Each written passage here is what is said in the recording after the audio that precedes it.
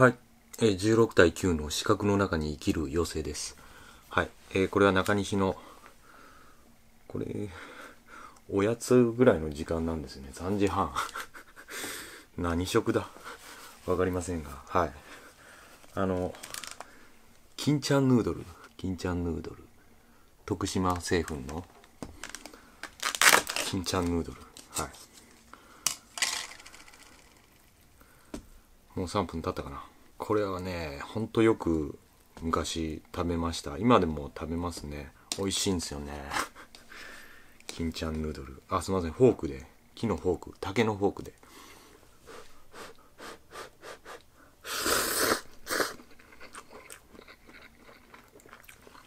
美味しい。麺軽めなんですけどね。あの、コシがしっかりありまして。はい。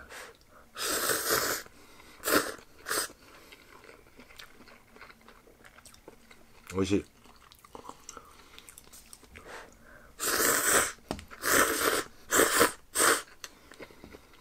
徳島のね、会社のね、ラーメンですけど、なぜか三重県、この辺り伊勢、まあ他の、他のね、三重の この近辺、金ちゃんヌードル、みんな食べるんですよね。CM もやってたしね。あ、今もやってるわ。中部地方に強いんですかね。徳島製粉さん。うん。醤油ですよ、醤油。なんでフォークにしたんだろう、僕。具はこのエビとね、チャーシュー。チャーシュー、ちょっとちっちゃめの四角い、ね。美味しい。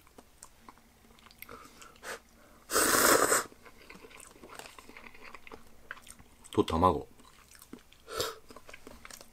ネギ。麺自体にもね、割としっかり味がついてるんですよ。うん。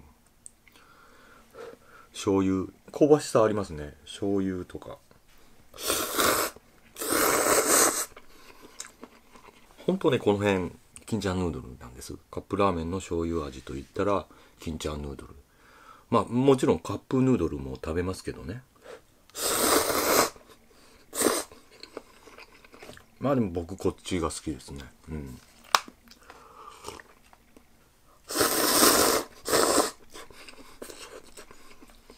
今日は1月5日。あの、どうでもいい話ですが、誕生日です。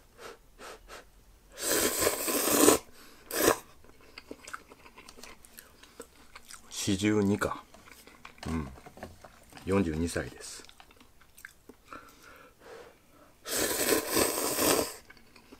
まあ、撮ってるのは12月末、去年の2017年の。あ、美味しかった。ほんと美味しい。あ、珍しいでしょこういう、こういうタイプ。ね。ね。昔のやつですか？昔全部こうだったのかな？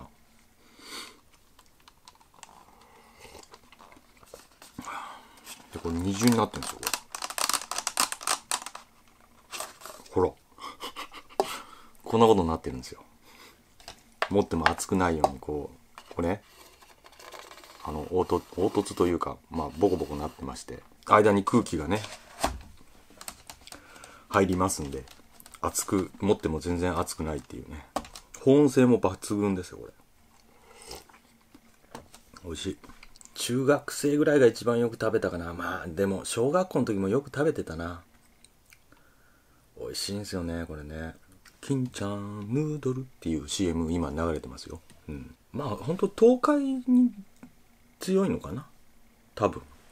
関東はあれですよね。ペヤング。焼きそばっつったらペヤングっていう、それぐらいの感じ、感覚です。はい。ね。まあこれは焼きそばではありませんが、カップラーメンの醤油味っつったら僕は金ちゃん。結構多いと思います。あの、この辺の人はね。うん。そう思う人が。カップヌードル派の人もいるとは思うんですけども、どっちが強いのかは分かりませんが、はい。僕はこれですね。家も、家、家、そうですもん。カップヌードルないけど、これありますから。常備されてますからね。美味しかった。ほんとね、なんかね、あのね、えも言われぬ気持ちになるんです。懐かしいような、なんだろううん温かいこのねホッとする味です。はい。まちことで。はい。すいません。まじまじゃじゃまじゃ。